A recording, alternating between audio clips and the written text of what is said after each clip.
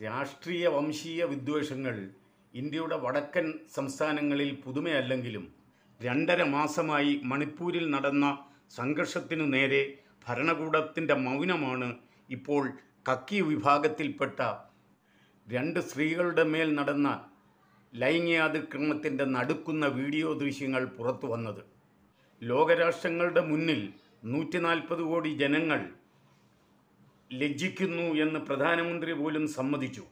അതുകൊണ്ട് മണിപ്പൂരിൽ സമാധാനം സ്ഥാപിച്ച് സാധാരണ ജീവിതത്തിലേക്ക് അവരെ കൊണ്ടുവരുന്നതിന് ഭരണകൂടത്തിന് ബാധ്യതയുണ്ട് പ്രധാനമന്ത്രിക്ക് ബാധ്യതയുണ്ട്. ഇനിയെങ്കിലും പ്രധാനമന്ത്രി അത് ചെയ്യും എന്ന പ്രതീക്ഷയോടെ നിർത്തുന്നു. നന്ദി നമസ്കാരം.